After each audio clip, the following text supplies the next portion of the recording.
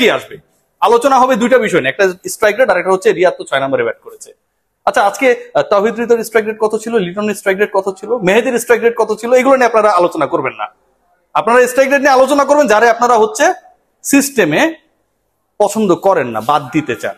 যার প্রেজেন্সটা আপনাদের ভালো লাগে না তার স্ট্রাইক রেট নিয়ে। যে আপনার দলের হাইয়েস্ট রান গেটার তার স্ট্রাইক রেট নিয়ে। বাকিরা টিকতে পারে না সেটা দোষ না। আরেকজন কেন ফিনিশ করতে আসেন পারেননি ফিফটি করতে পারেননি দলকে যেতে পারেননি সেটা হচ্ছে আপনাদের আলোচনার বিষয়, তাই না? নাইম শেখকে সুযোগ দেওয়ার জন্য ইনসাইটস বলছি ইনসাইটস আফগানিস্তানের সিরিজে। লিটন খেলবেন, তার পজিশন তিনি ছাড়বেন না, তামিম ইকবাল তিনিও খেলতে চান রান করতে চান। এখন একজনকে তো ড্রপ করতে হবে। মোটামুটি একটা প্রেশার ক্রিয়েট করা হয়েছিল ওই সময়টা পার্টিকুলার ওই সময়টা একটা প্রেশার ক্রিয়েট করা হয়েছিল। যেন তামিম ইকবাল, যেহেতু তার হান্ড্রেড পার্সেন্ট ফিটনেস নেই, পৃথিবীর কোন ক্রিকেটার হান্ড্রেড পার্সেন্ট ফিট থেকে এইভাবে খেলে, সেটা আসলে জানা নেই। তামিমও সেটা নিয়ে সন্দেহ প্রকাশ করেছিলেন তার ইন্টারভিউসে নাইম শেখকে ওই জায়গাটা দেওয়ার জন্য তিনি যেন না খেলেন, এটা এনশিওর করার চেষ্টা করা হয়েছে। Nazmul Hasan Papon, BCB board president, তার কাছে কমপ্লেন পর্যন্ত করা হলো, অথচ ডিসিশন মেকার ছিলেন কোচ, স্বয়ং খোদ, কোচ তামিম ইকবাল নিজে, দলের ফিজিও এবং পুরো ম্যানেজমেন্ট যে তামিম খেলবেন কি খেলবেন না।